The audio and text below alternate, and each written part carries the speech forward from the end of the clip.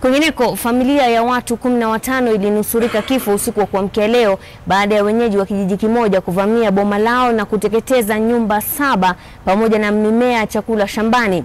Wavamizi hao wamedai kuwa mwanamume mmoja wa familia hiyo amemuua msichana mwenye umri wa miaka mitatu. Mwanahabari wetu Fred Moturi anaarifu kutoka Kisii.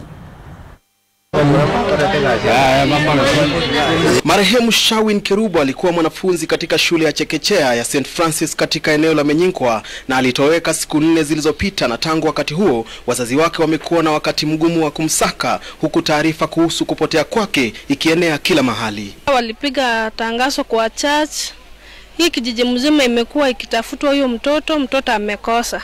Baada ya msako wa siku nne, duru ziliwaarifu wanakijiji kuhusu uwezekano wa kumpata mtoto huyo kwenye boma la mshukiwa. Nilienda kuchukua viatu, nikaenda nikanunua viatu kidogo tu, nikapigiwa simu, nikaambiwa na jirani yangu, akaniambia mimi sioni mtoto wako, kuja tumtafute ikiwa mapema. hatukuwa na ukweli kuwa mtoto amepotea ile ya kufa.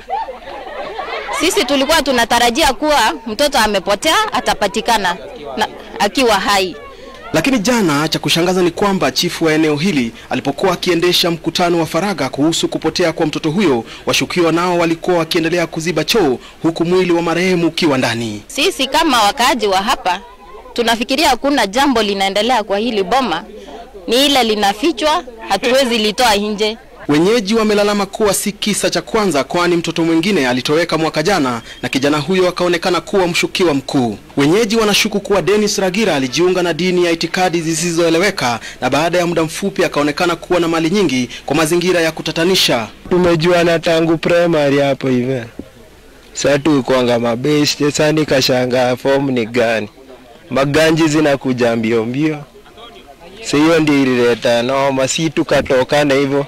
Baada ya mwili wa mtoto huyo kupatikana kwenye choo hiki na karibu na nyumba ya mshukiwa, wanakijiji walichoma nyumba na kuharibu mali ya jamaa huyo ikiwemo ya familia yake pamoja na mimea shambani. Fred Muturi, KTN News, Kisii.